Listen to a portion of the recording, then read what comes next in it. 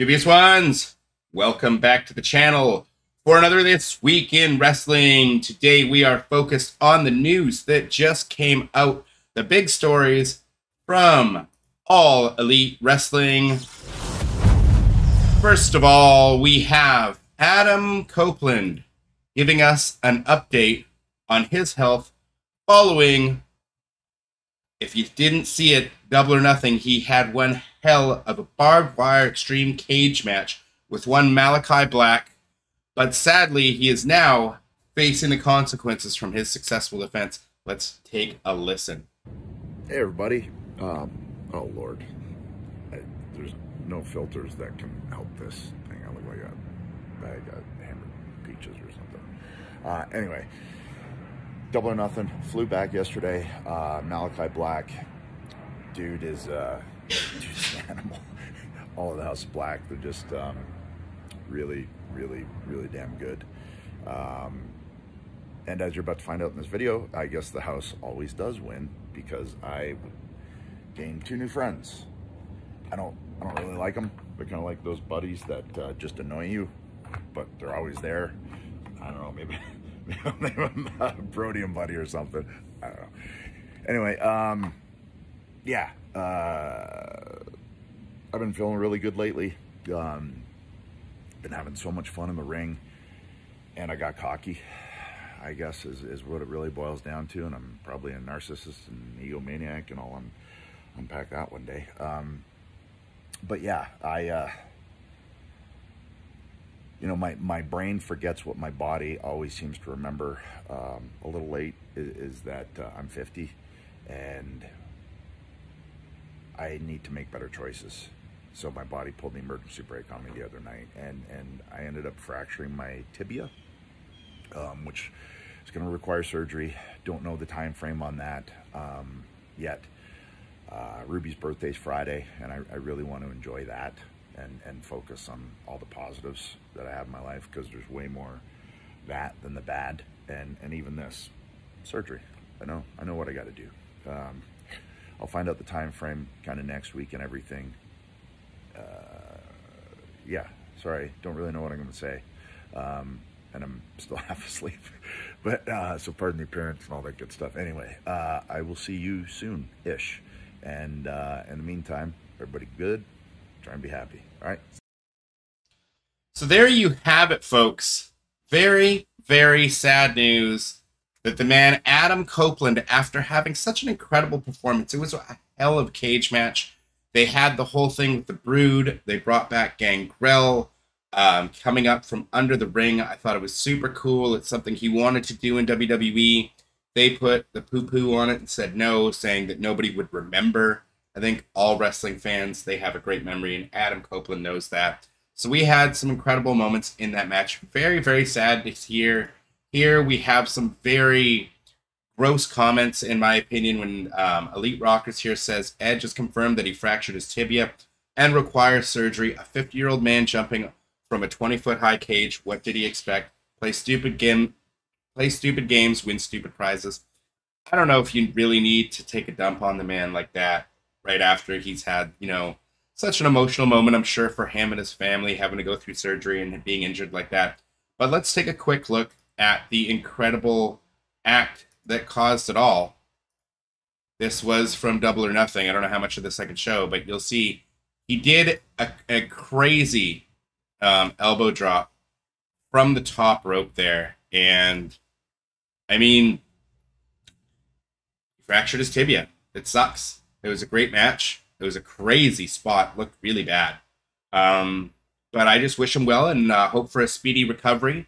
But that wasn't the only news we got from AEW today. So let's take a look here as we found out that WWE Hall of Famer Arn Anderson, this reported here, Wrestle Talk underscore TV. Go check them out on X. Um, WWE Hall of Famer Arn Anderson has announced that he will be leaving AEW when his contract expires on May 31st. He stated, One thing people know um, that I am very appreciative to have been in this business for 42, year, 42 years. I've often said this business does not owe me anything, I owe it everything. Very humble. that's you know Arn Anderson, great guy. Here at the tail end of my career, I've been very fortunate to work with AEW and Tony Khan for the last four years. He's a great human being. He's taken the wrestling business and given it another option, and a whole other category of pro wrestling is perceived to be, or can be, or will be, or has been. So I just want to thank you to everyone who worked there. They all are exceptionally great.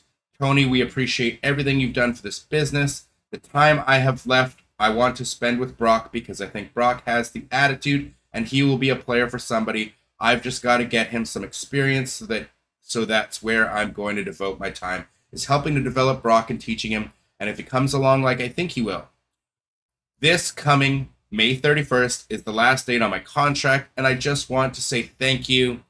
I appreciate everything, and that goes to everybody who works there. I just want to say thank you down and see you down the road the Arn Show. So that is coming from directly from Arn Anderson there.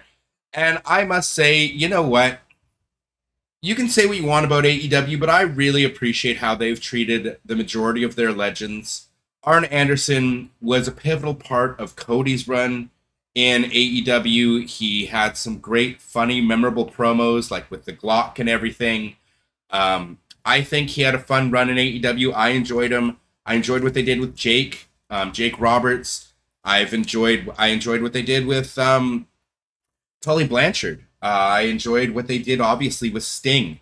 Um, we have other news. Um, I believe also we've heard. I'm going to take a look here on the fly, but I do believe uh, Mark Henry is also um, leaving at the end of his contract.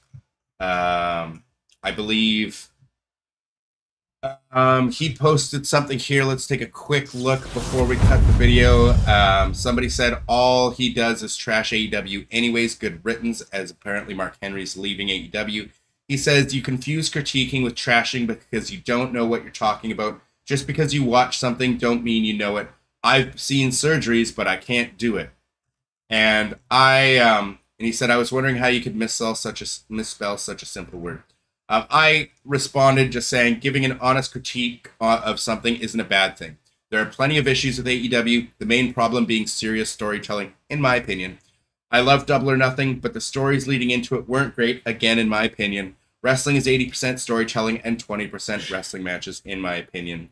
And then given the love with the old Nation of Domination, the big guy, Mark Henry there. Big fan of Mark Henry. So, again, someone that, as I said, they did treat their legends well Mark Henry really wasn't used, I think, effectively. He made those announcements for Rampage, and now we're getting to our main event. They didn't really do anything uh, with him.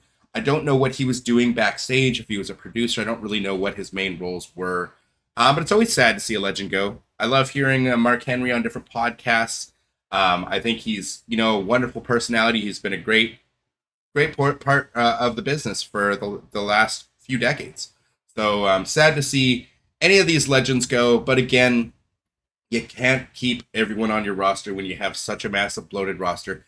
So if AEW is just letting these guys, it's not like they're letting them go. If they're just not re-signing them um, at the end of their contracts or re- renewing their contracts, that's that's something else. So it is what it is. Uh, but that was this week in wrestling, the AEW edition, just bringing up the biggest news stories that we've heard recently Anyways, dubious ones, that is going to do it for this one. Make sure to like, comment, subscribe, all that fun. And I will catch you in the next one. Deuces.